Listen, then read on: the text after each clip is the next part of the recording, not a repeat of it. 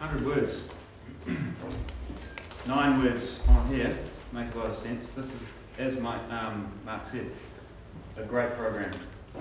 Basically, uh, I see a lot of um, business ideas in my job, and putting it down on paper at the first point is the hardest thing, getting it out of your head down on paper. This is what we're talking about here.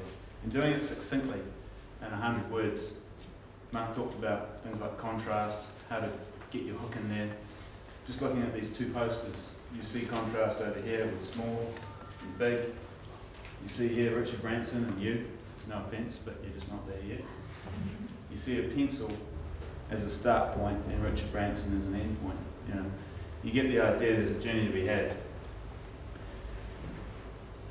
Getting it down in 100 words is about getting your message across. If you didn't get that out of Mark's presentation, I'm going to reiterate a lot of what he said, put it into a, into a different frame.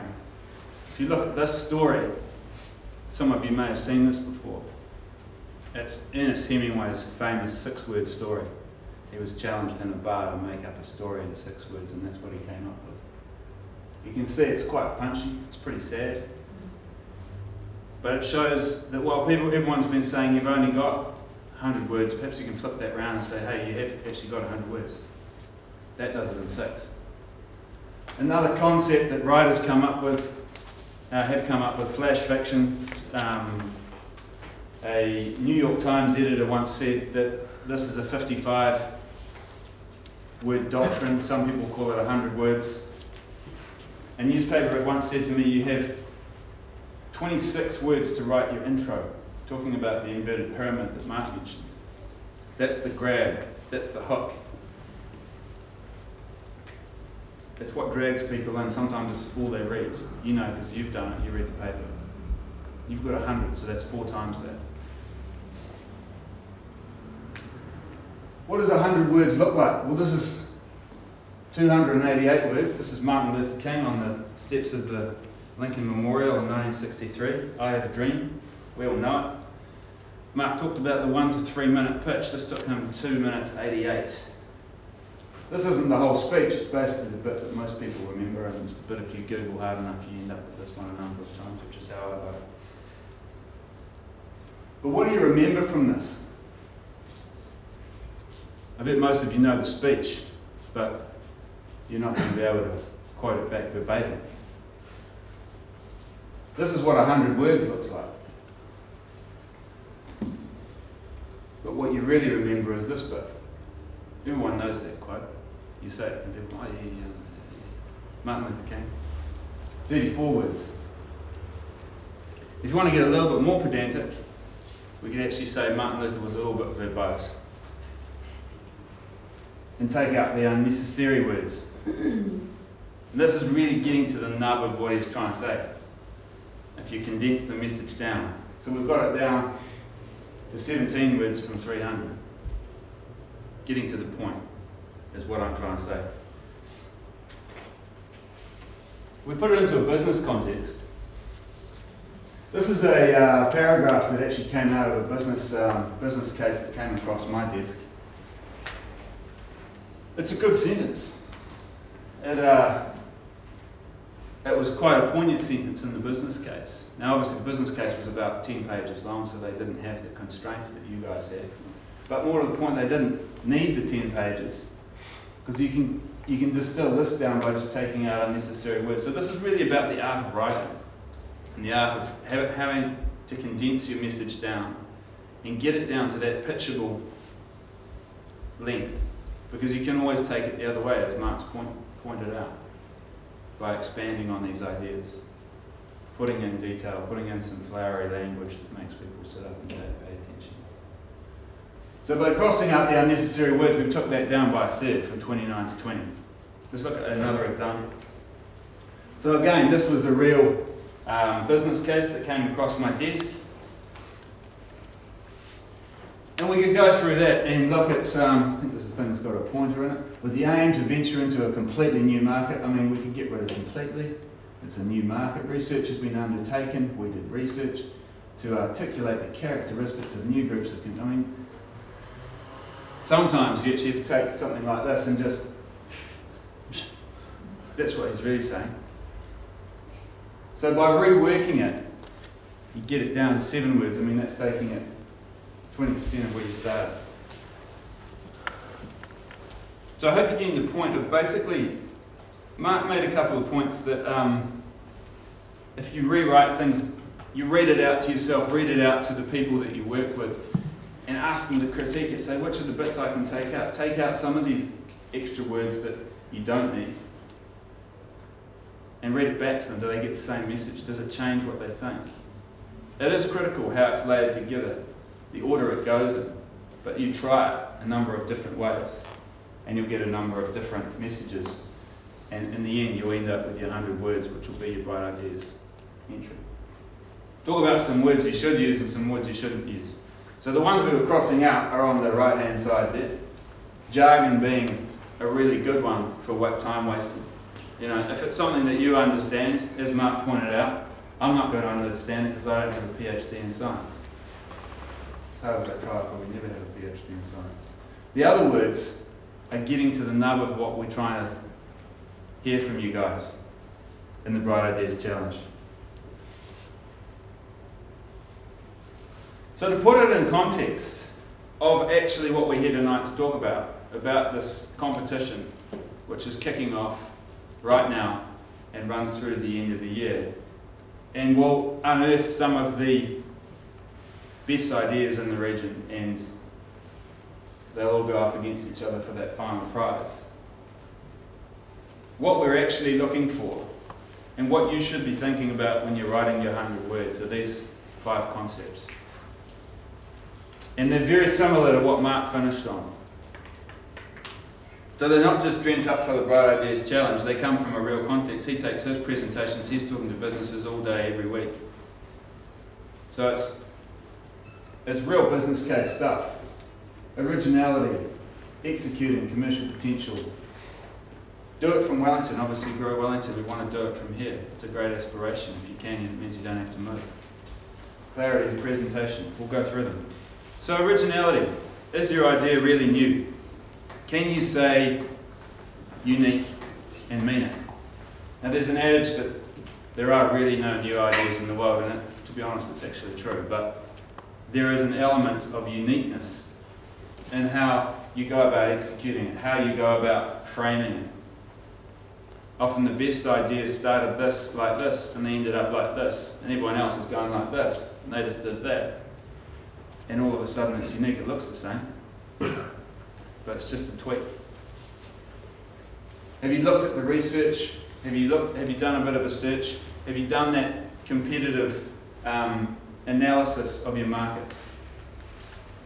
Looked out there, done your Google searches, done your online searches, done as much as you can, talk to as many people. Do you know if there's an idea out like this? Does this sound new to you? You'll be surprised how many people you talk to and they go, oh, I think I heard something about that. Why don't you talk to this person or, or, or search this term? And you'll be surprised what you come up with. Articulating your point of difference effectively goes to demonstrating your competitive advantage. And that's what the judges are looking for. Your competitive advantage, why your business is going to succeed in the market you're in over and above the others who are doing a similar thing. Execution. So when we say no, there's no original ideas, the ideas that make it are the ones that are executed fast, cleverly, and with conviction. And that comes back to how you're going to do it. Going back to Mark's point that he sees businesses pitching uh, they're all excited about the idea. You can see how excited he is about his laptop. But they don't tell about the, uh, the team behind it, the skills, the experience that will make the idea actually achievable, a viable idea. Domain knowledge, that's a bit of jargon for you. But basically it means do you know the space you're playing in? Are you in the restaurant business? If you're doing a restaurant style idea, or do you just go to restaurants and you think you know? Have you talked to 100 businesses and 100 restaurants? And that's how you know. What do you know about the domain that you're working in? And when you know what you know, what don't you know? And where are you going to, how are you going to fill those gaps? Because you're not going to get there without filling them. And that's why it comes down to a team. And that's why what Mark was saying about turning away businesses of one person is really relevant. You look at this chap over here, Richard Branson.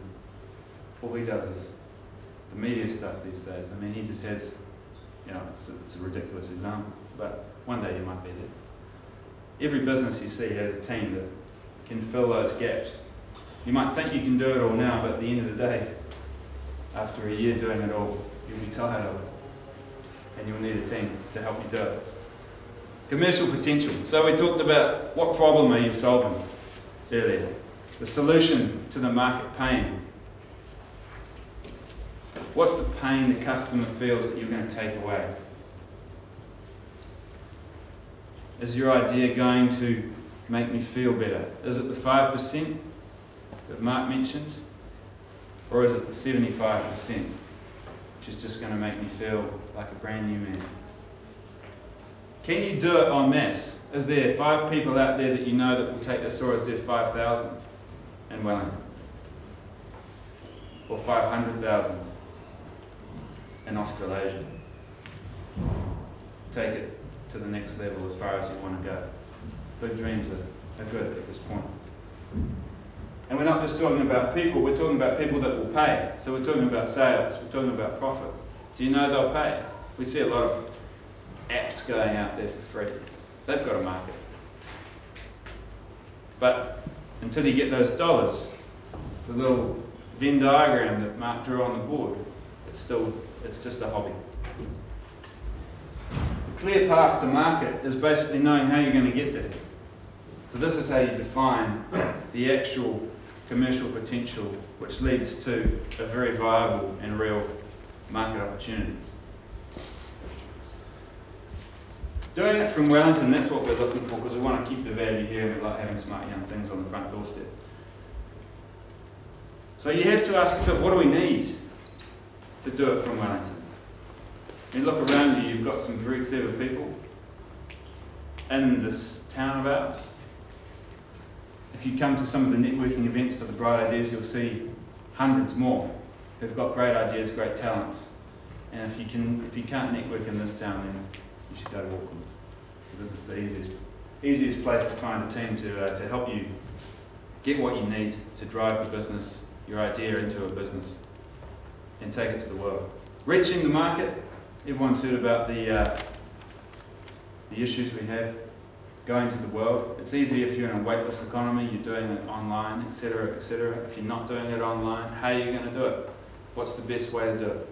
How are you actually going to achieve that? That comes back to successful execution. Have you thought it through? Where are your customers? How do they buy? Why do they buy there? And putting all that thinking in a structure and a plan. So this sort of thinking will go into your 100 words. These are the sort of concepts that you're going to have to distill down to your, uh, your original concept your 100 word pitch.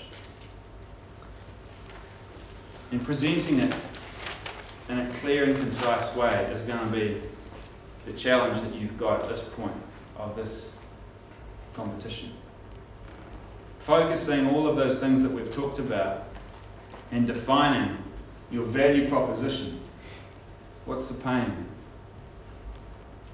Why do I want to buy?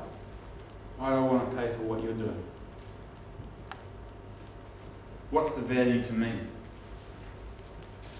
What's the value to the investor? The judges that look at these ideas are going to be thinking about it from an investment perspective. Is this a business that can go big? Can earn a lot of money? Can be very successful, can change markets, can change consumer behaviour. So think about those sort of recipients I guess, when you're talking about your value proposition. Succinct, 100 words. Don't push it over that. And keep it very simple.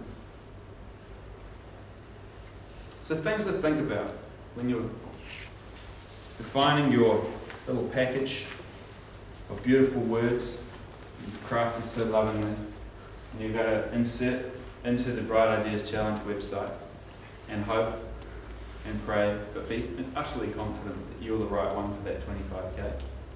Key messages. So, getting back to those very core value proposition, bring those words up again value proposition. What is the value to the customer, to the market, to the investor? Make it clear and repeatable. When I say repeatable, I mean memorable. It's going back to Martin Luther King's speech I have a dream. I have a dream that my children. No, I've forgotten. it's not a great example, but it's probably more of a reflection on me than Martin. Your hook. What's going to grab people? What's that one nib that is going to excite me? It's going to make me think that this is shit hot. This is something that could really go big. I'm excited about it. That means how many others could be excited about it? And we've already gone through the crossing out exercise. What you don't need to think about, and you'll get to this point, because you end up with 300 words, Christ, how am I going to get this down to 100? Go through it, look at it. Where are you over detailing? Where are you being a clever dick and trying to be colourful and entertaining? Get back to core messages. Sounding intelligent with ridiculous phraseology. I do it a lot. So, that's really all from me. This is what it's all about. I hope you've written those down. They're on the website. 100 words, a great idea. It's original. You know how to do it. It can make money. It can make money in a big way. You can do it from here and you put it in 100 words and it's clear, concise, and I get it.